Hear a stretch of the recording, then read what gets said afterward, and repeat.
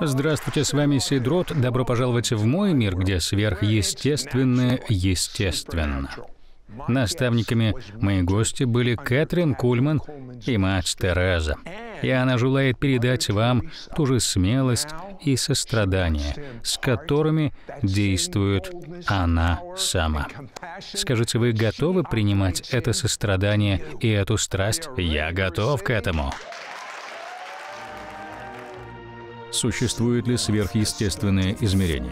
Сидрот провел более 40 лет, исследуя странный мир сверхъестественного. Присоединяйтесь к Сиду в этом выпуске программы «Это сверхъестественно». У меня в гостях доктор Мишель Карал – мне сложно представить лучших наставников, чем тех, что были у вас. Но ваша первая встреча со сверхъестественным произошла, когда вам было 17 лет. Я прав? Когда мне было 17, я пережила силу Божью во время своего спасения. Я слушала призыв к покаянию. Сила Святого Духа коснулась меня, но внутри меня шла борьба. Не потому, что я не хотела принимать Христа. Думаю, моя борьба борьба была такой же, как у многих людей. А вы спрашиваете себя, если вы выйдете вперед, чтобы принять Иисуса, сможете ли вы жить для Бога? И я не хотела лицемерить. Я хотела принять Христа, но этот вопрос меня мучил. И я почувствовала, как две руки подняли меня. Я хотела выйти вперед, но не знала, стоит ли. Две руки подняли меня, и я тут же оказалась впереди. Я плакала и плакала, и так продолжалось три дня. Вот это настоящее рождение свыше. Это было сверхъестественно и удивительно. А что произошло со всей вашей семьей вскоре после этого? После моего спасения моя мама заметила во мне изменения. Я из поколения 60-х. Она увидела во мне перемены, и ей захотелось пойти туда, куда ходила я. Она родилась свыше, а потом и вся моя семья. И все они служат Господу до этого дня. Кстати, со мной произошло нечто подобное. У меня тоже было чудо спасения примерно в то же самое время. Ну а позже я получил звонок от женщины по имени Кэтрин Кульман. Вы начали посещать ее собрания. А чему же вы научились, когда стали посещать ее сверхъестественные и удивительные собрания? Впервые после крещения Святым Духом я побывала на Пятидесятническом собрании. Я не знала, что такое помазание. И впервые в жизни на служении мисс Кульман я увидела Божье присутствие и даже славу Божью. Я сидела на балконе, и в какой-то момент она начала говорить что-то о слепоте. Вдруг все в зале потемнело, и я увидела что-то светящееся, вроде посоха, который тянулся от одного края скамьи до другого. Он прикоснулся к мальчику, который был слепым от рождения. На том собрании он был полностью исцелен. Если бы вы могли назвать всего одну вещь, которой вы научились у мисс Кульман, что бы это было? Я научилась многому. Во-первых, я научилась тому, чтобы умирать для себя и сделать Дух Святой своим лучшим другом. Я научилась полагаться на Него во всем, повиноваться Ему и стараться не разочаровывать Его. Простите, то есть вы буквально спрашиваете у Него разрешение? Объясните, что вы имеете в виду. Приведите пример. Да, конечно. Например, каждый день, как в служении, так и в повседневных делах, мы должны подчиняться Ему. В Римлянам 8 главе 16 стих сказано «Мы знаем свидетельство Святого Духа». И это свидетельство направляет нас. Я научилась полагаться на это свидетельство больше, чем на что-либо естественное. Если кто-то говорит мне о какой-то встрече или о каком-то деле, я тут же спрашиваю Духа Святого, это правда состоится? Все будет именно так? И если я чувствую помазание, то понимаю, что Он ведет меня в этом направлении. Если я этого не чувствую, то не обращаю на это внимания. А я знаю, что Дух Святой дает вам невероятное мужество, когда говорит вам что-то делать. Я расскажу нечто. В юности вы оказались в довольно опасной ситуации. Поведайте нашим зрителям. Когда вы любите Иисуса и крещены Святым Духом, это один из лучших даров Духа. Вы влюбляетесь в Иисуса, и вы настолько смелы для Бога. Эта работа Святого Духа в вас. Меня очень волновало спасение людей в Китае. Мы с командой моего служения собирались на Филиппины, и я решила сделать небольшой круг в сторону Китая. Я хотела привести им Библии, Слово Божье. А вы знали, что за это можете оказаться в тюрьме? Вообще-то, в то время туда можно было попасть за Библию. Совершенно верно. Особенно за Библией на китайском. Я помолилась об этом. Мы организовали группу. Это было служение, которое специализируется на связи с подпольными церквями. Мы решили взять 30 людей, которые будут тайно перевозить Библии. Но когда мы встретились в Гонконге, нам сказали, что не все те люди смогут это делать. Должна быть группа не более 9 человек. Поэтому мы выбрали 9 человек, готовых рискнуть своей жизнью и положить Библии в свой чемодан, зная, что эти чемоданы будут точно открыты. И мы верили, что Господь ослепит глаза таможенников, и они, осматривая чемоданы, не увидят Библии. И знаете, что я скажу вам? Точно так и случилось. Нам удалось сделать это во славу Божью. Я в восторге от работы Святого Духа. Вы говорите на китайском? Нет. А кто-то из вашей группы говорит? Нет, нам так и не пришлось. А что случилось? В этой первой миссии с контрабандой Библии нам удалось перевести их. Кстати, когда они открыли мой чемодан, то были шокированы, потому что Дух Святой дал мне стратегию. Он сказал мне разложить косметику поверх всех вещей в чемодане. Я понятия не имела, что китайские таможенники 80-х ничего не знали о косметике и о том, как одеваются женщины на Западе. Они начали переговариваться между собой, и это отвлекло их от Библии, которые были в чемодане. Слава Богу за это! А когда мы въехали в Китай, к нам приставили охрану. Мы даже не имели ключа от наших номеров. Я начала молиться. Господь, мы рисковали жизнью, чтобы приехать сюда, но нам нужна возможность, чтобы достигать жителей Китая. С нами все время охрана, мы не знаем языка. Как нам это сделать? Ответь, Господи. Я тоже как-то поехал в Китай, и переводчики, которых выбрало мне правительство, не переводили то, что я говорил. Они меняли все, что было важно. Я просто не знал, как же с ними бороться. Очень хитрые ребята. Точно, мы знали, что так и будет. Нас предупредили об этом, и нас пригласили выступить в церкви в качестве дружественного обмена. Когда я пришла туда, я знала, что мои слова переводят иначе. Но после всего нас отпустили на патио для дружеского общения. Охранник оставил нас, но строго предупредил, не говорите о крещении и ни о чем подобном. И мы помолились, чтобы Дух Святой дал нам слова, которые эти люди поймут. И вдруг 9 из 30 членов нашей команды заговорили на китайском. Это был мандаринский диалект. Китайцы во дворе выстроились перед нами и стали сами возлагать наши руки себе на голову, на колени, чтобы мы молились за них. Минут через семь отвечающий за нас пришел и прервал все это. Он сказал, я же говорил вам не говорить о крещении, запишите сюда свои имена. Мы перешли в другой зал, записали свои имена в какой-то журнал, и больше нам ничего не сказали. Да, такое сверхъестественное произошло в Китае. Это было удивительно, это было совершенно невероятно, что несколько членов нашей команды заговорили на китайском, на том диалекте, на котором говорили эти люди. И мы смогли это сделать. Мы смогли проповедовать им и рассказать об Иисусе.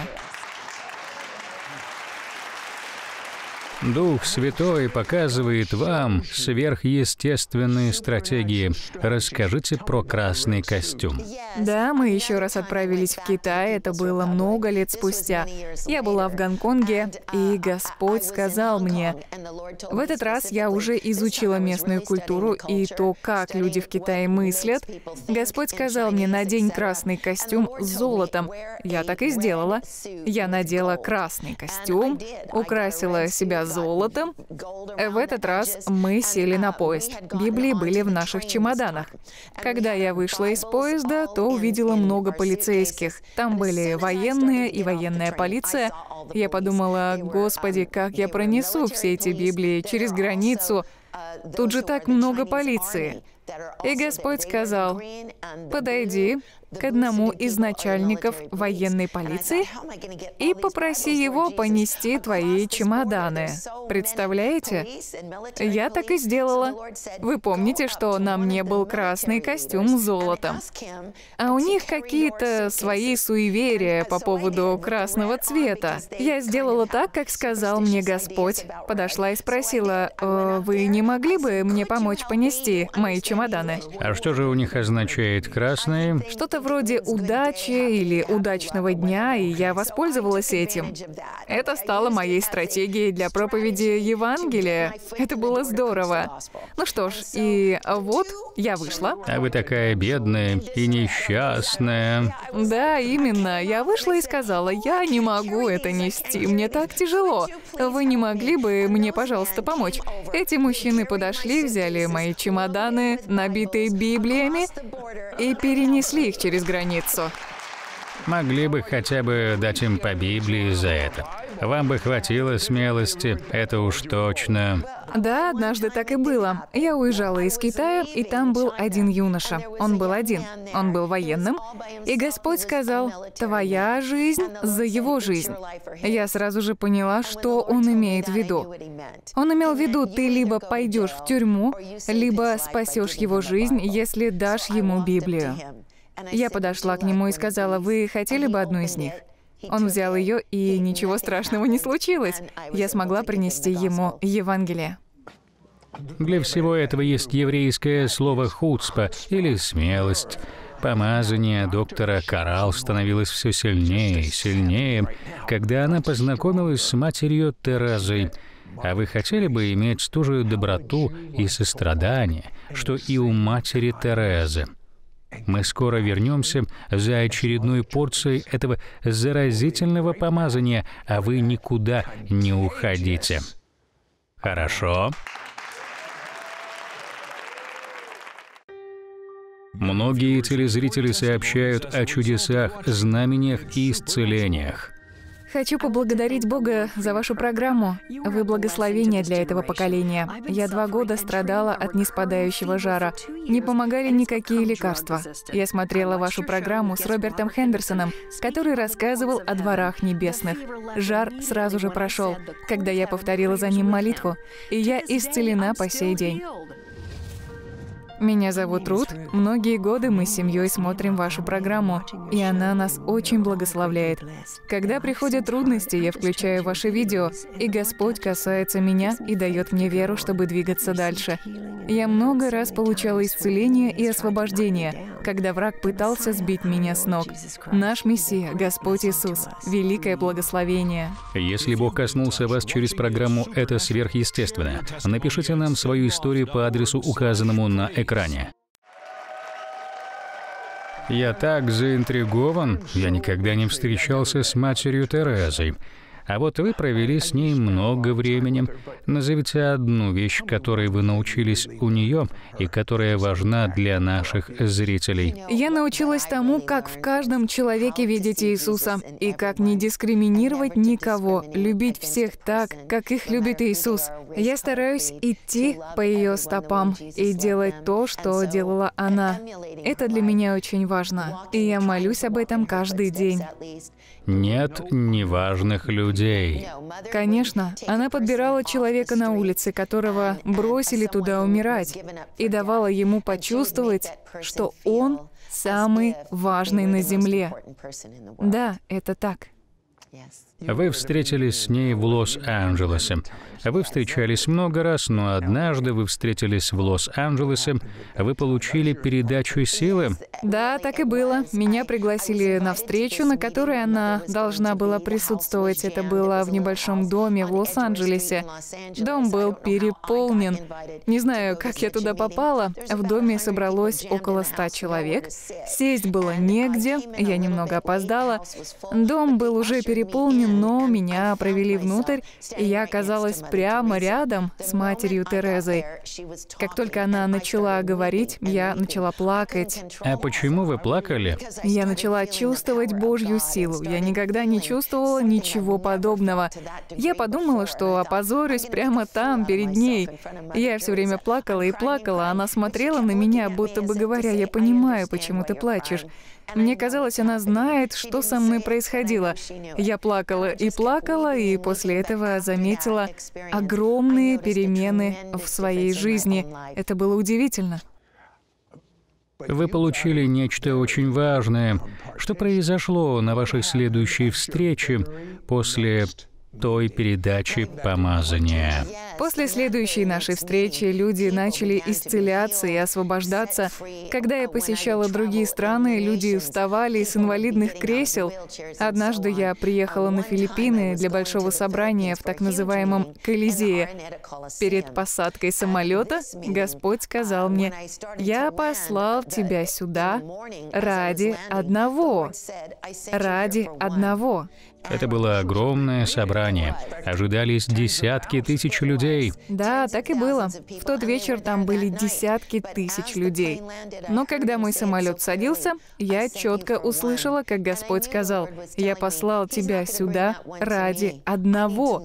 И я понимала, что Он не приведет этого одного ко мне. Мне нужно было самой его искать. Этому я научилась у матери Терезы.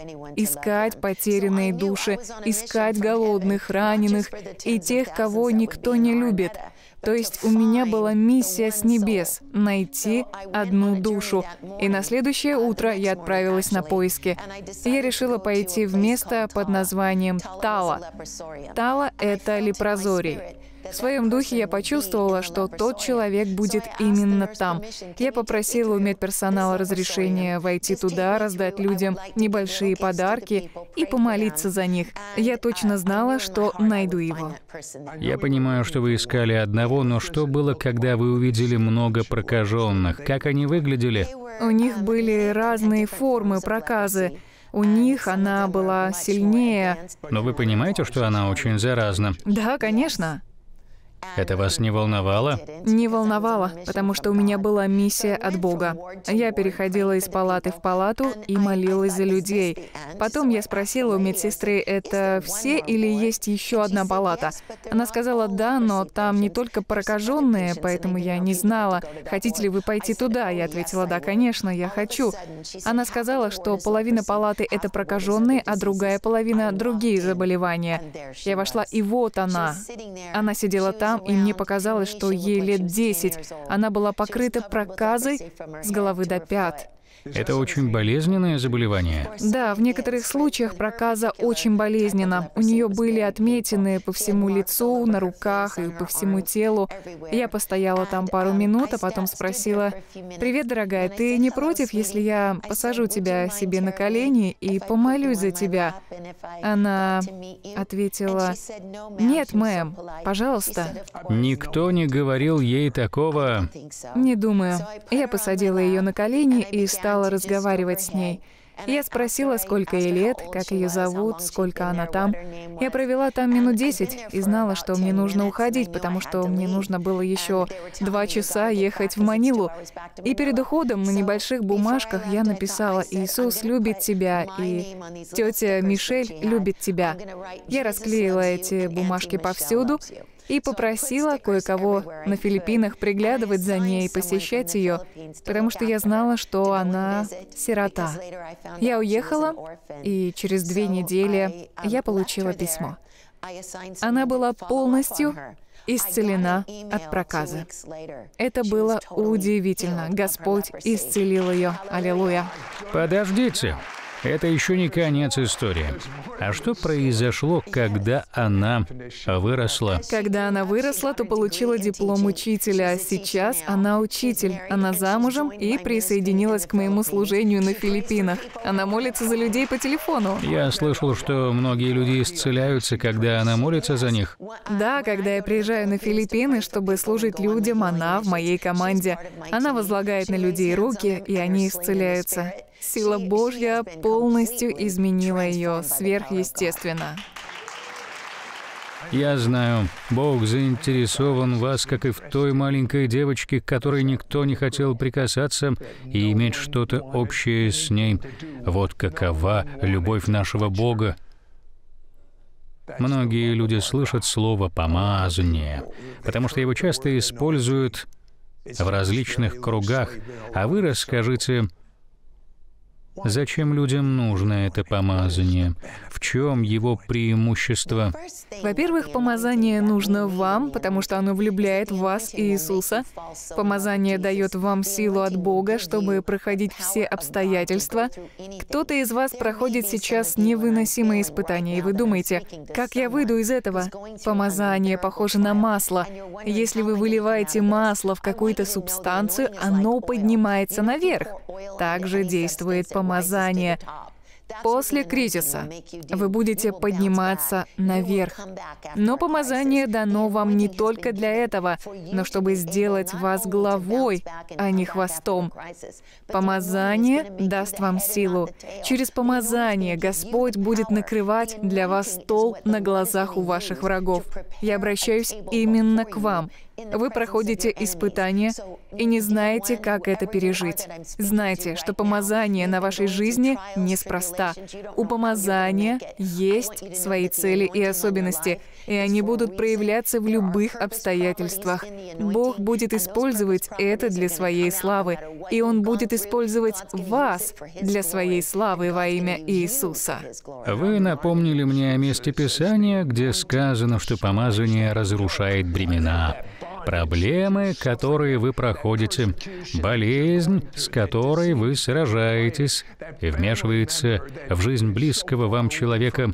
Помазание разрушает все бремена. Продолжайте.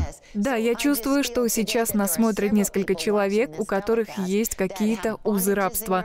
Кого-то из вас сковывает страх, у кого-то какая-то зависимость.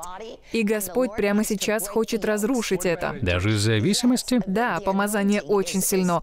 Оно разрушает зависимости. И прямо сейчас мы высвобождаем это помазание. Мы приказываем ему прийти в вашу жизнь.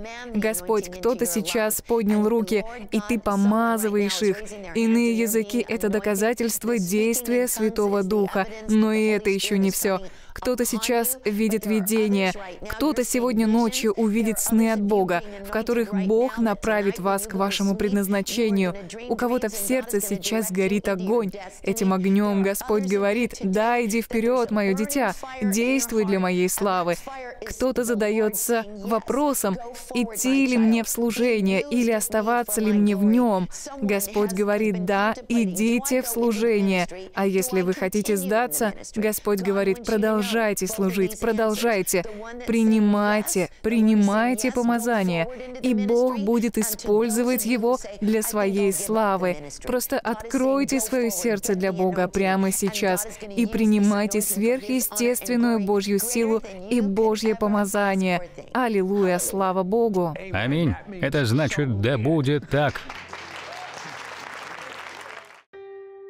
Многие телезрители сообщают о чудесах, знамениях и исцелениях.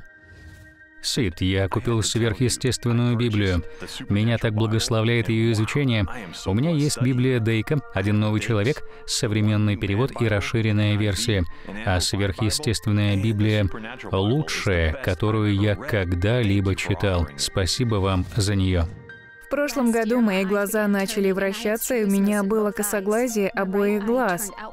Правый глаз повернулся наружу, а левый внутрь. Я возложила руки на глаза, когда проповедник начал молиться. Мои глаза начали быстро моргать.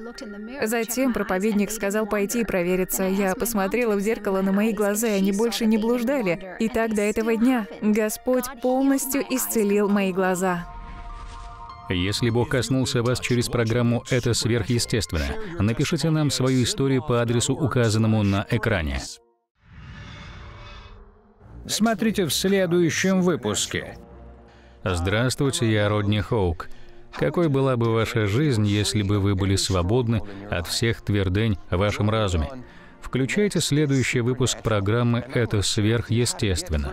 Я расскажу вам, как быть свободными от любых демонических твердынь.